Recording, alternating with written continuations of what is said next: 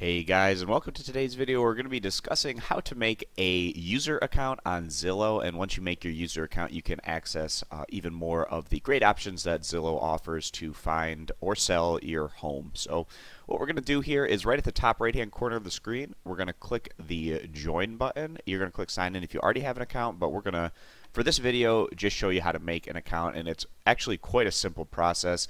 You just click join, and you're going to be highlighting this new account area. And what you can do is, if you have an email, you can type in your email and then uh, just enter a password for that email.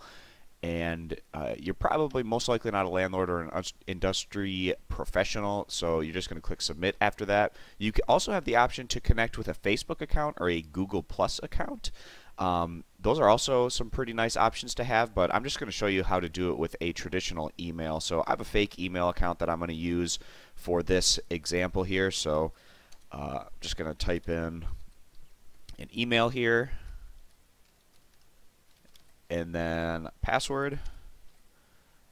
And then since I'm not a landlord or industry professional, I'm going to go ahead and click submit and obviously uh, if you want you can go ahead and read those terms of use uh, for Zillow.com but then you click submit.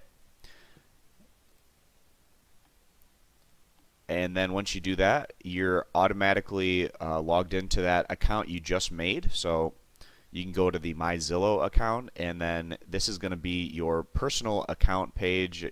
Uh, it makes your screen name whatever uh, the first part of your email is and then it tells you the date you joined. But obviously a pretty simple process. You're not going to get a much easier um, account registration than what Zillow has. Uh, it's just very simple.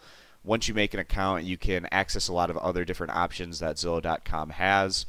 Alright guys, that's pretty much going to do it for this video where we went over how to quickly make an account on Zillow.com. A very simple and easy to understand process. We're going to make more of these Zillow based videos showing you how to uh, access some of the different features on this website for either home purchasing or selling. So thanks for stopping on in and we hope to see you in future videos. Bye.